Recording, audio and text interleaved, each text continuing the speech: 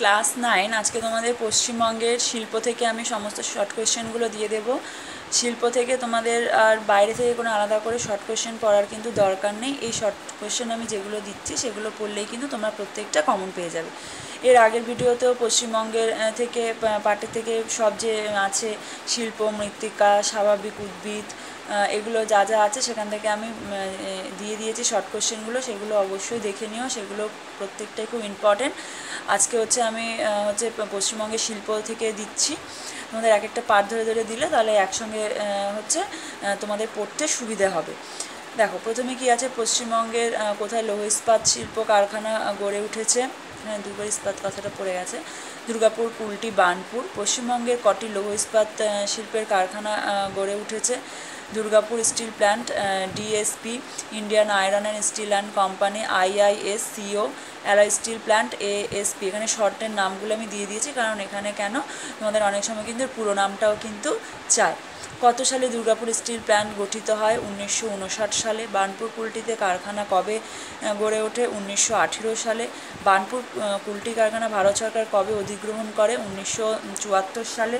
কুলটি বার্নপুরে অবস্থিত লৌহ ইস্পাত কারখানার নাম কি আইআই এসিও ইস্কো দুর্গাপুর শঙ্কর ইস্পাত শিল্পের নাম কি অ্যালয় স্টিল প্ল্যান্ট, এএসপি? ভারতের বৃহত্তম কয়লা খনি কোনটি? ঝরিয়া। পশ্চিমবঙ্গের কোথায় কয়লা পাওয়া যায়? রানীগঞ্জ, অন্ডাল দিশেরগড়। লো ইস্পাত শিল্পের কাঁচামাল কী কী? কয়লা, চুনাপাতার আকরিক লোহা ম্যাঙ্গানিজ খুব ইম্পর্টেন্ট কোশ্চেন এটা। পশ্চিমবঙ্গ লো ইস্পাত শিল্পের প্রয়োজন প্রয়োজনে আকরিক লোহা কোথার থেকে আনা হয়? ঝাড়খণ্ডের নোয়ামুন্ডি, গোয়া, উড়িষ্যার গুরুমহিষানি, বাদাম পাহাড় আর হচ্ছে বোলানি। তারপরে দেখা যাচ্ছে লৌহ ইস্পাত শিল্পের প্রয়োজনীয় চুনাপাথর কোথার থেকে আনা হয়? উড়িষ্যার বীরমিত্রপুর থেকে। লৌহ ইস্পাত শিল্পের প্রয়োজনীয় ম্যাঙ্গানিজ কোথার থেকে আসে? উড়িষ্যার গাংপুর। পশ্চিমবঙ্গে প্রথম পাটকল কবে প্রতিষ্ঠিত হয়? ভেরি ভেরি ইম্পর্টেন্ট কোয়েশ্চেন আঠেরোশো উনষাট সালে রিসরায় ভারতের মোট পাটকলের মধ্যে পশ্চিমবঙ্গে কতগুলো অবস্থিত ছাপ্পান্নটি। ভারতের চালু পাটকল কতগুলো? তিয়াত্তরটি। খুব ইম্পর্টেন্ট কোশ্চেন পশ্চিমবঙ্গে পাটকলগুলি কোথায় অবস্থিত? হুগলি নদীর উভয় তীরে, উত্তরে কল্যাণী, বাঁশবেড়িয়া থেকে দক্ষিণে বজবজ, উলবেড়িয়ার মধ্যে থাকে হুগলি শিল্পাঞ্চল বলে। পাটের বিকল্প তন্তু কী কী? কাপড়ের থলে, কাগজের ব্যাগ, পলিথিন, প্লাস্টিক। পশ্চিমবঙ্গে কয়েকটি পাটশিল্প কেন্দ্রের নাম বালি, রিসরা, হাওড়া সাকরাইল শিবপুর, শ্রীরামপুর। ভারতের প্রথম পাটকল কবে স্থাপিত হয়? কলকাতার ঘুষুরিতে আঠেরোশো আঠেরো সালে পশ্চিমবঙ্গের কয়েকটি কার্পাস বস্ত্রবয়ন শিল্পের নাম কল্যাণী, শ্রীরামপুর, বেলঘরিয়া, সোদপুর হাওড়া। তারপরে দেখো আহ, ভারতের প্রথম চা বাগিচা কোথায় গড়ে ওঠে ইংরেজরা ঊনবিংশ শতাব্দীতে শেষের দিকে জলপাইগুড়ি জেলার ডুয়ার্সে।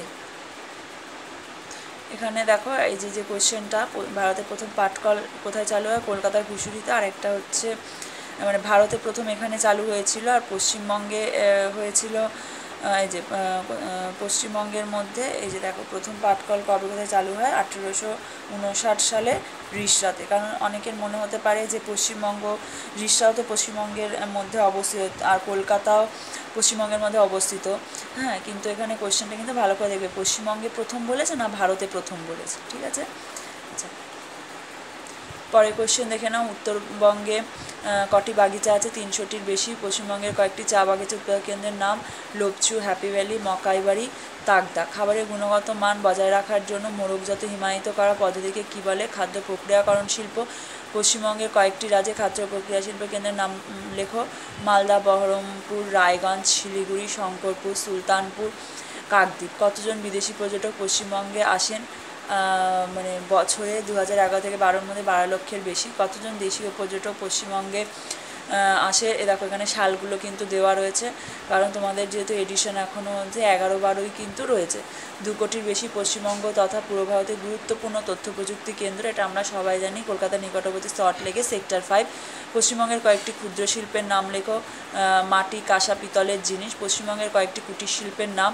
আচার তৈরি করা, বড়ি দেওয়া, কুটির মানে ঘরে বসে যেগুলো করা এগুলো আমি তোমাদের ব্রড কোশ্চেনও আমি দিয়ে দেবো। সেখান থেকে তোমরা দেখে নিতে পারবে। কম্পিউটার টেলিযোগাযোগের মাধ্যমে গড়ে ওটা শিল্পকে কী বলে? তথ্য প্রযুক্তি শিল্প। ছুরি কাছি তৈরির বড় কেন্দ্র পশ্চিমবঙ্গে কোনটি? বর্ধমান জেলার কাঞ্চননগর, খুব ইম্পর্টেন্ট তারপরে দেখো আছে মাদুর ও শোলা শিল্পের জন্য বিখ্যাত কোন শহর? পূর্ব মেদিনীপুর, বিষ্ণুপুর কিসের জন্য বিখ্যাত? মৃৎশিল্প তাঁত শিল্পের জন্য বিখ্যাত? শান্তিপুর, ধনেখালি, ফুলিয়া। তোমাদের কিন্তু এখানে উল্টো করেও পড়বে, কারণ তারা এরকম দিয়ে দিতে পারে যে শান্তিপুর হচ্ছে কোন শিল্পের জন্য বিখ্যাত। ঠিক আছে? নদিয়া কৃষ্ণনগর কেন বিখ্যাত মৃৎশিল্পের জন্য? চামড়া ও কাঠের জন্য বিখ্যাত কোন জায়গা? শান্তিনিকেতন, কাঁসার বাসন শিল্পের জন্য দেখো, খাগড়া আর নবদ্বীপ, পশ্চিমবঙ্গের মৎস্যবন্দর খুব important Shankarpur, Diamond Harbour, Fraserganj, পশ্চিমবঙ্গের দুটি বাণিজ্য বন্দর, কলকাতা আর হচ্ছে হলদিয়া। কলকাতা বন্দর সহায়ক বা পরিপূরক বন্দর কোনটি? হলদিয়া বন্দর। কোন একটি নির্দিষ্ট এলাকায় একই ধরনের শিল্প পাশাপাশি গড়ে উঠলে তাকে কী বলে, এক একদেশি ভবন বা এক দেশতা? আর এখান থেকে যে ব্রড কোশ্চেনগুলো আছে, সেগুলো আমি তোমাদের পরের ভিডিওতে দিয়ে দেবো। এই জন্য চ্যানেলটা অবশ্যই কিন্তু তোমরা সাবস্ক্রাইব করে রেখো।